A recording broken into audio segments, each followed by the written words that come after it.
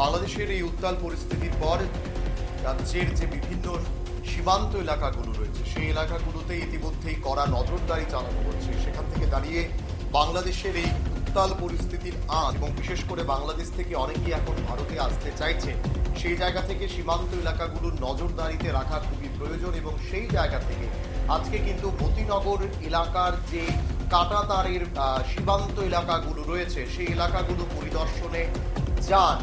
জেলা শাসক বিশাল কুমার। বিশাল কুমার আজকে এই এলাকাগুলো পরিদর্শন করেন। ঠিক একইভাবে কাঁটাতারের ওপারে যে সমস্ত সাধারণ নাগরিকরা রয়েছেন, যারা জিরো পয়েন্টে থাকেন, তাদের সঙ্গে দেখা করেও কিন্তু তিনি কথা বলেছেন এবং যারা সেখানকার বর্ডার সিকিউরিটি ফোর্স রয়েছেন, তাদের সঙ্গে এই গোটা এলাকার পরিস্থিতি নিয়ে তিনি কিন্তু আলোচনা করেন। একইভাবে মতিনগর সীমান্তে কোনো ধরনের অপ্রীতিকর ঘটনা যেন না ঘটে, কোনোভাবেই যেন কোনো অবৈধ অনুপ্রবেশকারী যেন না ঢুকতে পারেন কোনোভাবে যেন অবৈধভাবে কেউ না ঢুকতে পারেন, তার জন্য কিন্তু তিনি বিএসএফ আধিকারিকদের সঙ্গে কথা বলেছেন। একই সঙ্গে সেখানের নিরাপত্তা এবং সুরক্ষার বিষয়েও তিনি আলোচনা করেছেন।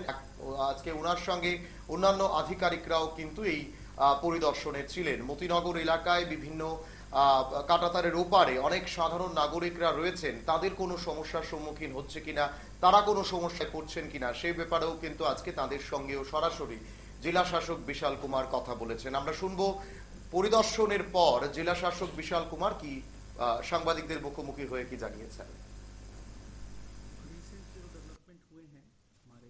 पड़ोसी राज्य पड़ोसी देश में उसके बाद मैं तीन चार दिनों से बॉर्डर एरियाज़ में हम लोग मीटे मिल रहे हैं, लोगों से बात कर रहे हैं। इससे इस दौरान मैं एक दो दिन पहले खौड़ा चेक पोस्ट पे भी गया था और आज मोती नगर एरिया में गए। यहाँ पे हमारे कुछ नागरिक जो हमारी आई जो फेंसिंग है, उसके दूसरी तरफ़ रहते हैं। ऐसे लगभग सत्तर फैमिलीज़ उधर रहती हैं, उनसे हमने इंटरेक्ट किया और उनसे बात करके हमें पता लगा कि हमारे इंडियन साइड में अभी भी बहुत ही शांतिपूर्ण है उस तरह की कोई, उस तरह से पड़ोसी देश की तरफ़ से कोई इस तरह की प्रॉब्लम्स नहीं आई हुई हैं।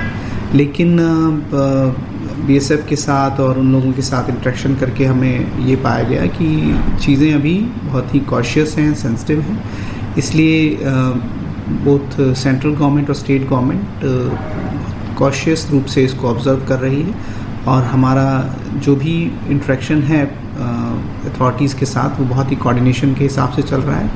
रिसेंट सीनियर ऑफिसर्स भी बीएसएफ के वहाँ विज़िट किए हैं। और हम उम्मीद करते हैं कि जो भी समस्याएँ बॉर्डर रिलेटेड हैं उनका जल्दी ही समाधान हो जाएगा।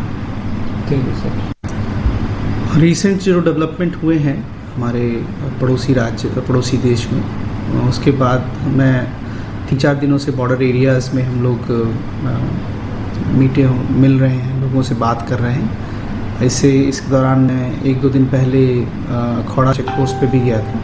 और आज मोती नगर एरिया में गए। यहाँ पे हमारे कुछ नागरिक जो हमारी आई जो फेंसिंग है, उसके दूसरी तरफ़ रहते हैं। ऐसे लगभग सत्तर फैमिलीज़ उधर रहती हैं, उनसे हमने इंटरेक्ट किया। और उनसे बात करके हमें पता लगा कि हमारे इंडियन साइड में अभी भी बहुत ही शांतिपूर्ण है और उस तरह की कोई, उस तरह से पड़ोसी देश की तरफ़ से कोई इस तरह की प्रॉब्लम्स नहीं आई हैं। लेकिन बीएसएफ के साथ और उन लोगों के साथ इलेक्शन करके हमें ये पाया गया कि चीज़ें भी बहुत ही कॉशियस हैं सेंसिटिव हैं इसलिए बोथ सेंट्रल गवर्नमेंट और स्टेट गवर्नमेंट कॉशियस रूप से इसको ऑब्ज़र्व कर रही है और हमारा जो भी इंट्रैक्शन है अथॉरिटीज़ के साथ वो बहुत ही कोऑर्डिनेशन के हिसाब से चल रहा है। रिसेंट सीनियर ऑफिसर्स भी बीएसएफ के वहाँ विज़िट किए हैं और हम उम्मीद करते हैं कि जो भी समस्याएँ बॉर्डर रिलेटेड हैं उनका जल्दी ही समाधान हो जाएगा। थैंक यू सर रिसेंट जो डेवलप